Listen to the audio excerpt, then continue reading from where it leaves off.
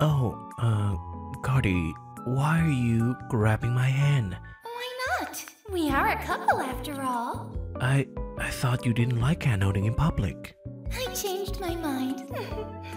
Besides, I don't want to lose you in the crowd. Remember last time we went shopping? I turned away for one second and that random girl started asking for your number. Yeah, wouldn't want to get kicked out of Target because of another fight. I'm so glad we see things the same way.